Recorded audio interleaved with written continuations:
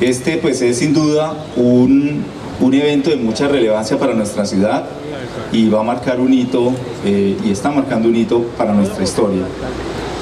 El proyecto eh, nace de una importante alianza entre el gobierno municipal y Ecopetrol y se consolida pues como, una, como un desarrollo muy importante para nuestra capital, para la calidad del aire de nuestra ciudad y para las condiciones de vida de nosotros los habitantes.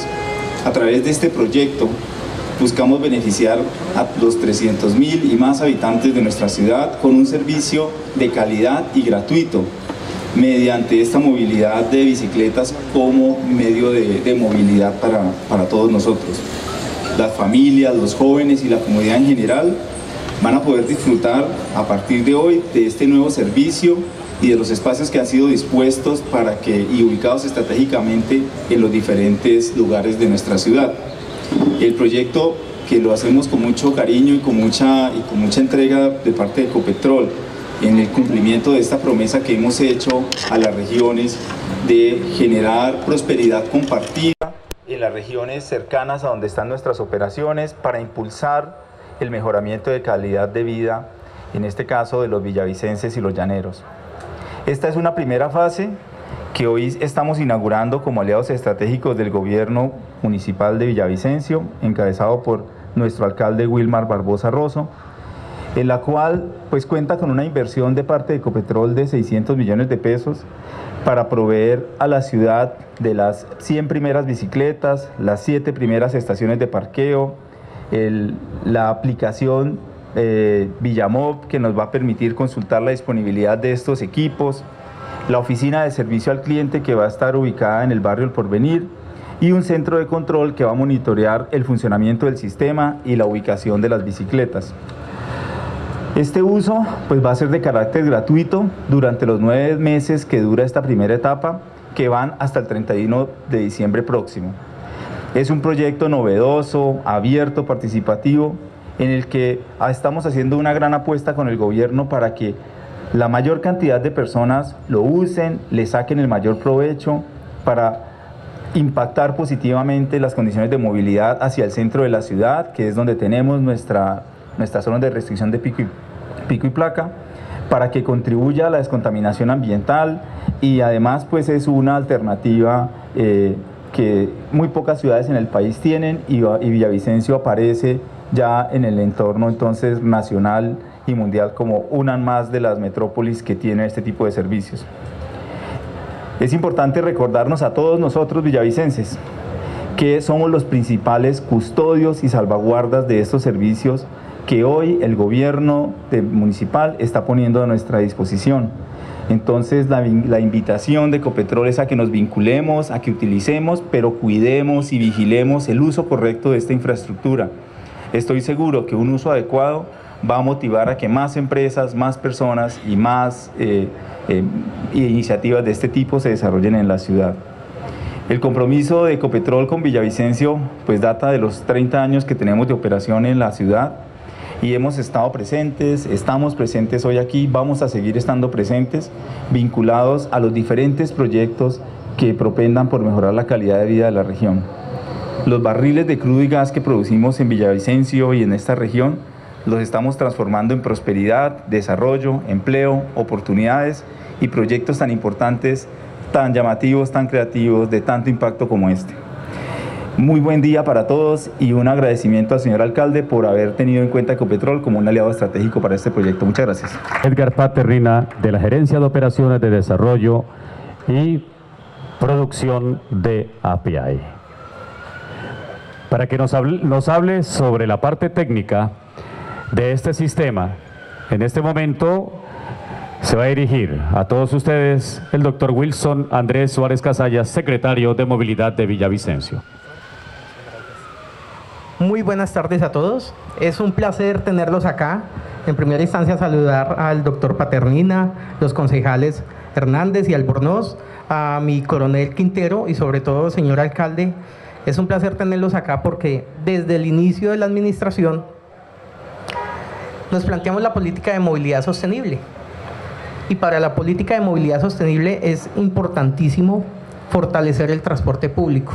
pero si no cambiamos una tendencia en la forma en cómo nos movemos, si no auspiciamos el transporte eh, en bicicleta, el transporte sostenible, el caminar, no vamos a lograr eh, llegar a las metas, como bien lo decía el doctor Paternina, de no contaminación, pero sobre, sobre todo de ser sostenibles en el tema de poder tener una movilidad en la ciudad, sobre todo, porque no hay forma de que hayan vías tan, tan rápido como vehículos se compran a diario. Es imposible que nosotros sigamos haciendo vías en la misma forma en como vehículos a diario ingresan a, la movilidad de la ciudad. Por eso nos planteamos la política movilidad sostenible y desde el primer momento dijimos tenemos que tener un sistema, un sistema de bicicleta pública, pero teniendo eh, presente las limitaciones presupuestales de la ciudad, en primera instancia en la meta del plan de desarrollo quedó consignado que queríamos estructurar el sistema para posteriormente adquirirlo. Pero el día de hoy, ya en el cuarto año de la administración, estamos inaugurando el sistema, la primera estación del sistema de bicicleta pública. Esperamos que en la próxima semana más y más estaciones empiecen a ser operativas y que de esa forma todos los ciudadanos podamos gozar de este beneficio. La estructuración de este sistema eh, surgió a partir de un estudio que emitió una consultoría con la Universidad Nacional de Colombia y fue un primer paso. Primero nos dio la posibilidad de no pensar como en otras ciudades del país, ocho o nueve ciudades del país ya han venido trabajando en este tema y en todas se habla de que un sistema de estas características debe valer del orden de 3 mil millones de pesos. Y la Universidad Nacional de Colombia en primera instancia llegó y nos aterrizó esos valores y nos dijo, ustedes pueden tener un sistema cercano por una tercera parte de ese valor. Y allí empezamos a trabajar ese valor de una tercera parte, cerca mil millones de pesos, 700, 800, dependiendo de las consideraciones, también nos era imposible en una primera instancia, hasta que apareció Ecopetrol. Y con su apoyo, con su voto de confianza, pero viendo la motivación del municipio, decidió apoyarnos. Y tenemos claro que para Ecopetrol este es un proyecto importantísimo, porque es la prueba piloto del sistema de bicicletas públicas que posiblemente va a replicar en otras ciudades. Y por eso la intención, pero sobre todo el compromiso de que este sistema fuera exitoso. Por eso, desde el primer día, no se imagina, doctor Edgar, han habido mil tropiezos, mil problemas para poder llegar al día de hoy. Llevamos casi dos años en este convenio, eh, nos han ocurrido mil vicisitudes, pero el día de hoy ya estamos acá inaugurando la primera estación. Pero como les mencionaba, el estudio de la Universidad Nacional primero nos aterrizó y nos dijo, hagan esto por etapas. Y era lo que mencionaba el doctor Edgar. Esta es la primera etapa. Siete estaciones, 100 bicicletas, que cuando uno revisa en detalle están ubicadas en el mismo polígono del pico y placa, porque es allí donde tenemos problemas de movilidad y es allí donde tenemos que empezar a cambiar las, la forma en la que las personas nos movemos para hacer eh, mucho más amena nuestra ciudad. Ya cuando uno evalúa posiblemente 100 bicicletas y 7 estaciones, no van a cambiar la forma, o sea, no van a ser de, gran aporte, no van a, generar un gran impacto en la ciudad y ahí es donde uno diría, posiblemente 100 no, pero ya el trasfondo del sistema sí. Y es que aunque la cantidad de viajes que se van a realizar en Villavicencio no, son, no van a ser muchos en comparación con la totalidad, los 500 mil habitantes, lo que sí vamos a generar es un cambio en la conducta, un cambio en la conducta de la cultura que tenemos. Tenemos que apropiarnos de un sistema, tenemos que empezar a defenderlo, pero sobre todo va a generar un cambio en la conducta para que todas las personas puedan considerar la bicicleta como un modo de transporte cotidiano. Yo puedo considerar llegar hasta el centro de la ciudad en bus y si voy a hacer una diligencia en el centro expandido, como en el 7 de agosto en el Barzal, puedo tomar la bicicleta y utilizarlo y no tengo que incurrir en un costo adicional. Posiblemente, ¿quiénes lo van a utilizar en primera instancia? Los estudiantes, porque hay un factor económico que, que impulsa a hacer eso, ahorrarse un, un recurso diario. Posiblemente es esto y por ello es que en este momento los invito a perder el miedo, a perder el miedo de utilizar la bicicleta para transportarnos cotidianamente, pero también a perder el miedo de que cuando finalicemos este acto de inauguración, vayamos hasta aquí atrás a la estación, hagamos el registro, aprendamos cómo es, es sacar la bicicleta prestada y posiblemente ya estando el servicio totalmente en servicio, lo consideremos como una alternativa. Y es ahí el éxito del sistema. No las 100 bicicletas, sino el cambiar la conducta de las personas y su forma de pensar. Les agradezco mucho el estar acá. Como les decía al comienzo, es un gran placer. No se imaginan cuánto. Hay mil problemáticas, mil detractores, pero aquí estamos y tenemos confianza en las bicicletas, en el sistema. Y hace, hace un rato una persona llegó y me dijo, usted secretario de movilidad con tantos problemas que tiene, se inventó otro problema, tiene que estar pendiente de 100 bicicletas, sí, porque es lo necesario para que la ciudad sea sostenible. Y por eso estamos acá. Les agradezco a todos, muchas gracias. A continuación, para una inauguración oficial de este gran lanzamiento del sistema de la bicicleta pública de Villavicencio, invitamos a nuestro alcalde Wilmar Orlando Barbosa Rosso a este estrado. Y ciclista además. Muy buenas tardes para todos. ¿Quedaron sin aliento después de la travesía qué pasó? Estamos aquí con todas las ganas. Este es el preámbulo del aniversario número 179 de la ciudad de Villavicencio y démosle un aplauso fuerte a la ciudad. Con mucho amor y con mucho compromiso, que es lo que hacemos. Hemos tenido la oportunidad en esta semana de inaugurar diferentes obras, de estar en diferentes situaciones en las que se concluyen procesos tan importantes como el de hoy. Saludar de una manera muy especial a Edgar Paternina, gerente de operaciones de y representante de Ecopetrol, pero villavicense también de, nacimiento. Eso también nos llena de orgullo Edgar, porque Inemita, también egresado de, de nuestro colegio Inés Luis López de Mesa, nos llena de muchísimo orgullo que represente a la estatal petrolera, quien, con quien tenemos la mejor relación, los mayores procesos de confianza, de inversión, de grandes proyectos, de procesos que hemos venido sacando adelante. Y este es uno más de esos que tiene la misma importancia. Y saludo por ese mismo conducto intermedio a todo el equipo. Jacqueline, gracias. Wilson, sé que desde el inicio también, como dijo su tocayo Wilson, han tenido que soportar y superar todas las vicisitudes y cada uno de esos escenarios en los que ese sueño que arrancó en el 2016 se convierte en una realidad, pero además es la oportunidad que tiene Ecopetrol para llegar a otras ciudades, evaluarlo en Villavicencio e implementarlo en otros sectores del país. Gracias. Gracias a cada uno de ustedes, a todos los funcionarios. Gracias María, a todos. Gracias por estar aquí. Tenemos esta gran oportunidad de seguir desarrollando estas alianzas nos quedan ocho meses y 26 días, pero son tiempos suficientes. Es un tiempo suficiente para seguirlo haciendo con tanto amor, con tanto sacrificio, pero vale la pena. Cada esfuerzo que hacemos y lo agradecemos mucho. Gracias Ecopetrol por estar aquí, por permitirnos como en esta semana ir a otros sectores, a Vegas del Guayuriba, por ejemplo, en el fin de semana a inaugurar otra obra que también arrancó como una gran deuda social y hoy también es uno de esos proyectos que quedan atrás, dejan atrás la incertidumbre, la falta de confianza y por el contrario fortalecen las relaciones con la gente. Gracias Edgar. Y gracias y por su intermedio, un saludo muy especial al señor presidente de la empresa, al doctor Felipe Bayón, con quien tuvimos la oportunidad de hablar sobre el mediodía, porque también vamos caminando y ya hemos tenido aprobado en último comité técnico. ¿Y por qué no decirlo? Porque todo eso nos llena de muchísimas emociones. Ya ha quedado aprobado en último comité técnico para la ciudad de Villavicencio el nuevo acueducto para la ciudad de Villavicencio por 16 mil millones de pesos. Estructurado en este gobierno, diseñado en este gobierno, le propusimos a la ciudad una nueva bocatoma, una nueva línea de aducción y hoy el presidente dijo, ¿por qué no contestó a las 10? Veníamos echando cicla, presidente. Pero le pudimos confirmar sobre la una de la tarde y pudimos recibir esa gran noticia. Entonces, muchísimas gracias. Por eso es importante reconocer, podernos decir, adelantar las discusiones, pero también tener la caballerosidad, el respeto y el reconocimiento. Y ustedes, hoy que hacen parte de esa gran empresa, para todos, gracias.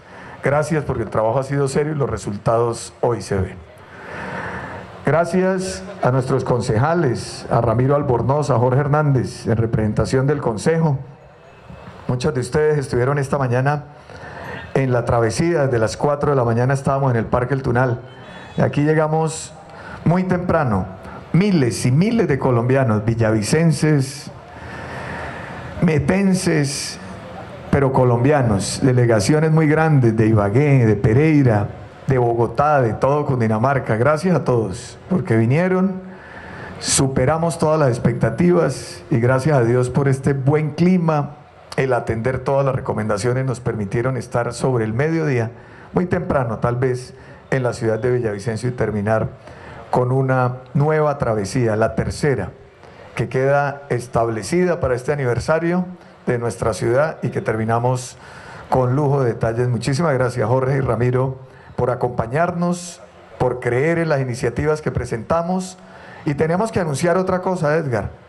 Hace apenas cuatro días, el Consejo de Villavicencio nos aprobó en pleno, con 17 votos a favor y una ausencia, el cambio de una meta del plan de desarrollo. Y entonces vamos a invertir con Ecopetrol 7 mil millones de pesos, 4 mil 500 de la empresa, 2 mil millones de la alcaldía y 500 de Llanogas para darle gas al área rural de influencia en 12 veredas de la ciudad de Villavicencio. Esa es otra muy buena noticia. Y por qué no decirlo, estamos en el aniversario de esta ciudad, en 179 años de un proyecto que se había esperado durante mucho tiempo, que hemos estructurado también desde el arranque del gobierno, pagando esas deudas sociales que se tenían en el área de influencia. La gente me preguntaba, pasa el tubo por la finca mía y no tenemos la oportunidad. Nos toca salir corriendo con el gas, con el cilindro de gas al hombro, pagar 70 mil pesos cada 20 días y no tenemos esa oportunidad. Nos pusimos de acuerdo, lo presentamos al Consejo y ahora viene la etapa de aprobación y después de ejecución de una forma muy ejecutiva para que podamos entregarle durante todo el año a los villavicenses de esas veredas una solución tan importante.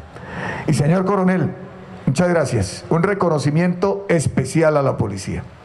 Gran acompañamiento durante todo el momento de la travesía. Desde las 4 de la mañana salimos del Tunal, nos entregó la de Bogotá, la metropolitana de Cundinamarca, la de Cundinamarca nos entregó en el túnel, toda la DITRA haciendo su labor y la metropolitana de Villavicencio cumpliendo. Como lo dijo usted en el Consejo Extraordinario, mil hombres y mujeres dedicados a cada uno de los eventos de este aniversario de la ciudad y tenemos que reconocer no solamente ese acompañamiento en el día de hoy, sino los grandes resultados que ha tenido la ciudad, los buenos resultados que le ha entregado la Policía Metropolitana en cada una de esas ruedas de prensa de las últimas cinco semanas, desarticulando bandas, enviando a los delincuentes a medidas intramurales, entregándolos a la justicia con las pruebas suficientes tecnológicas para que no tengan cómo desvirtuar en las audiencias y pretender salir como presuntos inocentes. Gracias, coronel. Un reconocimiento muy especial a la policía y muchísimas gracias por estar aquí. Wilson, gracias. Gracias a todo el equipo de movilidad, a todo el gobierno, a mis compañeros de trabajo, desde cada una de las secretarías y a todo el equipo de la Secretaría de Movilidad, desde el más humilde de los colaboradores a quienes desde el arranque del gobierno se sentaron a estructurar las metas del plan de desarrollo, a compartir con las comunidades. Y hoy tengo que decir que a mi compañero de infancia, de estudio, de primaria, Iván Vaquero Susa, nuestro anterior secretario de movilidad, ponga de pie Iván, ponga de pie señor, que con usted estructuramos esta idea, caminamos durante todo este proceso y hoy con su compañero también de trabajo, Wilson, tenemos la oportunidad con todo este equipo de Copetrol y de todo el equipo de movilidad entregarle a la ciudad este proceso tan importante, este aprender a caminar, no solamente en una demostración de que se pueden lograr en la ciudad hechos hitos históricos que parten la condición de la ciudad en dos. En poder caminar en una movilidad sostenible, en entregar las herramientas a los ciudadanos de Villavicencio para poder comprender que entre todos realmente podemos trabajar por las condiciones equitativas, igualitarias en una ciudad como la nuestra, pero también poder trascender en estos escenarios de cultura ciudadana que son responsabilidad de cada uno de nosotros. De podernos ver al espejo, y decía ahora Wilson en la explicación del sistema, de cómo lograr que si cada una de estas bicicletas de las siete estaciones son responsabilidad de todos, que es absolutamente gratis cumpliendo requisitos como la copia de la cédula, la fotocopia de un recibo de pago de un servicio público del lugar donde residen y a través de un sistema biométrico de identificación queda totalmente registrado y además entregado el servicio gratuito para poder desde muy tempranas horas de la mañana y hasta las 7 de la noche entregar el elemento para el último viaje y a las 8 cerrar todas las estaciones, es como podemos en el polígono donde rige el pico y placa para mejorar y contribuir en la movilidad, en la movilidad de la ciudad, esas siete estaciones se vuelven de una manera muy dinámica la oportunidad que todos los villavicenses, los jóvenes, los viejos, los chinos, los más cercanos a los estudios universitarios, técnicos, en los colegios, pero también los adultos que han decidido cambiar la manera de transportarse y de aportarle a esta ciudad de Villavicencio, podemos ir y avanzar en siguientes etapas y fases. Hoy esta fase garantiza la operatividad, Edgar. No solamente las bicicletas, las siete estaciones en el Parque de los Estudiantes, en la plazoleta del Templete, en el Parque Principal o en el Parque de los Libertadores. Tenemos esa gran oportunidad en la plazoleta Los Artesanos, aquí donde estamos, en el edificio de la Cámara de Comercio, en cada uno de esos escenarios donde fueron escogidos producto de qué? De tomar decisiones informadas, de una consultoría de la Universidad Nacional que le permite a la ciudad avanzar en estos desarrollos en los que han entrado otras cinco o seis grandes ciudades del país y que hoy presentan otro tipo de inconvenientes diferentes a los nuestros. Y nosotros recogemos esas experiencias, hacemos una alianza efectiva con la empresa de los colombianos, con Ecopetrol, para poder entregar unas soluciones tan importantes como ella. ¿De qué depende? De que hayan unas segundas fases, de qué dependen de que Ecopetrol y la alcaldía pueda continuar más allá de estos nueve meses en, este, en esta ejecución del proyecto, de ir y avanzar en las siguientes estaciones y en mayores números y cifras de esos viajes que pretendemos reemplazar. Como decía ahora Wilson, y escuché a Jimena Rivera también en una entrevista muy puntual en los medios de comunicación diciendo cómo podemos ir variando esa mentalidad de si podemos sustituir esos viajes motorizados por estas oportunidades alternativas que ofrece hoy la ciudad, que no le cuestan al ciudadano, sino solamente el compromiso de proteger el bien público, de saber que se van a montar en ese sistema público de bicicletas, que es una bicicleta que con el correcto manejo y proceder todas las noches, los operativos del sistema las llevan a la bodega, hacen los mantenimientos, se garantizan y hay un stop de repuestos de alto consumo y se reparten en la madrugada de cada uno de los días para que desde muy temprano estén dispuestas en todas las estaciones y de acuerdo a las estadísticas eh, cada uno de los números sean bien repartidos. Entonces hoy, bienvenida esta nueva oportunidad para la ciudad. En este escenario, en el de la Cámara de Comercio, en un saludo muy especial a todos sus integrantes que a esta hora de la tarde laboran de manera decidida y a los clientes de la Cámara, gracias por permitirnos estar aquí. Pero los invitamos a todos a que se sigan enamorando de esta ciudad, que ha recibido a más de 600 mil personas con los brazos abiertos, que hoy cumple 179 años y tal vez de las generaciones nuestras hacia adelante somos villavicenses por nacimiento en la mayoría de los casos. de ahí para atrás son por adopción, pero igual villavicenses, llenos de amor por esta tierra. Los invitamos a que se enamoren de ella, a que en esta semana en un preámbulo de el aniversario, que es el próximo 6 de abril, nos acompañen a cada uno de los eventos que están dispuestos. Una maratónica jornada de inauguración de 27 obras esta misma semana y continuaremos la entrante.